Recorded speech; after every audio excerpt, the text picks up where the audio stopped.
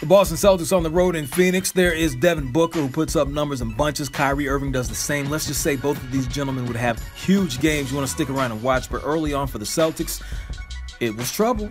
Not in a, in a good way, like trouble in a bad way. Kyrie, uh uh Jayson Tatum, no.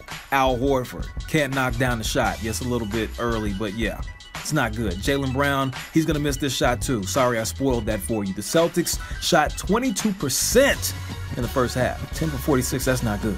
DeAndre Ayton, 14 points, 10 rebounds. Then you see Devin Booker. Stop, pop. That's good.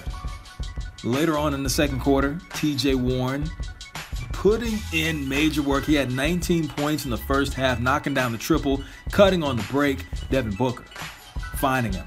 Phoenix up by 20 at halftime.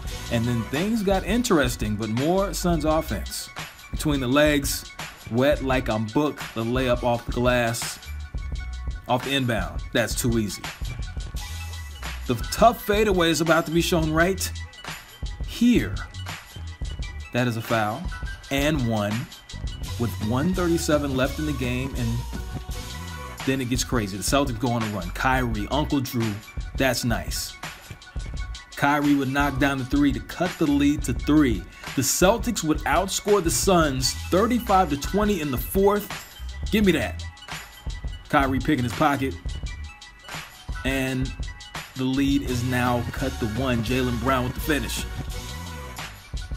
Now, Jaylen Brown focused. 6.1 seconds left. Marcus Morris coming up clutch. Top of the key. That's a three. We are going into overtime.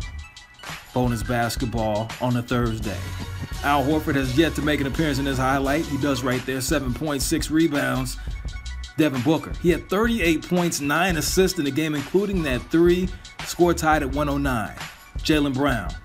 All alone in the corner. You might want to cover him. Splash. More Morris came up big, knocking down that shot to get it to overtime. Comes up big once again to seal the deal. Celtics go up by five at that point, and they would go on to win the game. A heartbreaking loss for the Suns as the Celtics come down from as many as 22 to get the win.